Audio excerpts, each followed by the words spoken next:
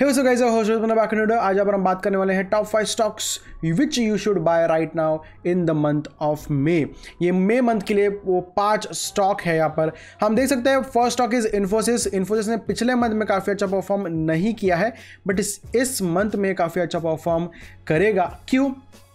Because I T stocks are going to outshine यहाँ पर currently also यहाँ पर निफ्टी ओवरऑल प्रेशर में रहने वाला है तो कुछ चुनिंदा ही यहाँ पर सेक्टर्स है, चुनिंदा ही स्टॉक्स है जो अच्छा आउट परफॉर्म कर सकते हैं। ओके तो first stock is Infosys second यहाँ पर हम देख सकते हैं सिप्ला है। इन्फोसिस को एक बता दो आपको इन्फोसिस ने एक साल में हंड्रेड परसेंट रिटर्न दिया है, यानी double okay capital double okay the next stock is Cipla Cipla के बारे में एक सेपरेट वीडियो भी बना चुका हूँ। इसको बहुत टारगेट करो।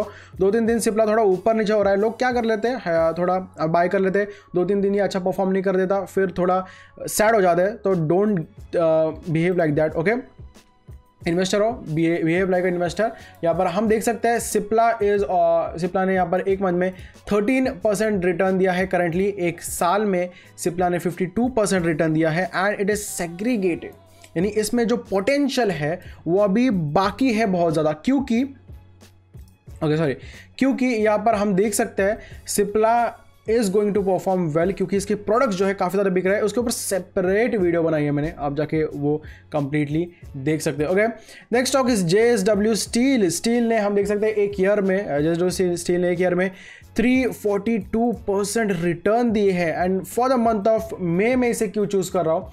बिकॉज़ पर steel stocks are going to rally rally, इसकी जो रैली ऑलरेडी चालू है, और भी ज़्यादा ये रैली होने वाले हैं in the month of May. तो मे मंथ के लिए ये एक स्टॉक है ओवर वैल्यूड है थोड़ा, इसलिए आप इसे अवॉइड करना चाहते हो तो अवॉइड भी कर सकते हो। ये थोड़ा रिस्की वाला स्टॉक है, यानी अगर रिटर्न दिया तो बहुत बढ़िया देगा, वरना थोड़ा लॉस भी देखे जाएगा। इसलिए यहाँ पर थोड़ा रिस्की स्टॉक है, इसलिए आपको पहले ही बता के देख रहा हूँ। अगर आप रिस्क थोड़ा सा ले सकते हो तो बाय करो, नहीं ले सकते तो अवॉइड भी कर सकते हो। Okay next stock is Cadila health care Cadila health care के ऊपर भी मैंने एक पर्टिकुलर वीडियो बनाई है। आप जाके वो देख सकते हैं कार्डिलाल हेल्थ केयर के ऊपर।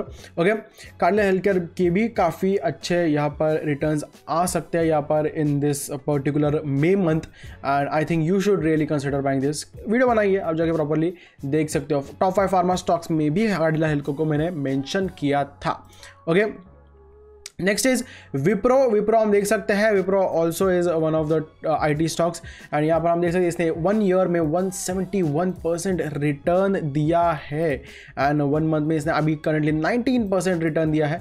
तो काफ़ी अच्छा रिटर्न है यहाँ पर विप्रो करंटली इस मे मंथ में भी काफ़ी अच्छा यहाँ पर परफॉर्म करेगा। ये वो स्टॉक होगा जो आईटी सेक्टर को ये संभाले रहेंगे। इन्फोसिस एंड विप्रो टीसीएस भी एक तरह से है बट टीसीएस को मैंने यहाँ पर थोड़ा अवॉइड किया है इस time I have chosen Wipro and Infosys क्योंकि I think they can perform better than T C S okay ये थे वो पास स्टॉक आई होप वीडियो आप सभी पसंद आ चुकी होगी. इट्स अ होस्ट पसंद